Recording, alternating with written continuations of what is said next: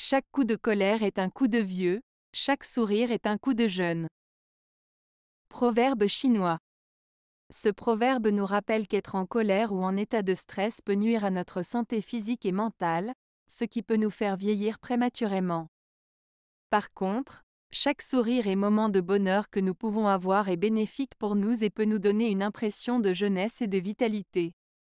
En somme, ce proverbe nous invite à être plus positifs et à profiter des petits moments de bonheur de la vie pour maintenir une santé optimale.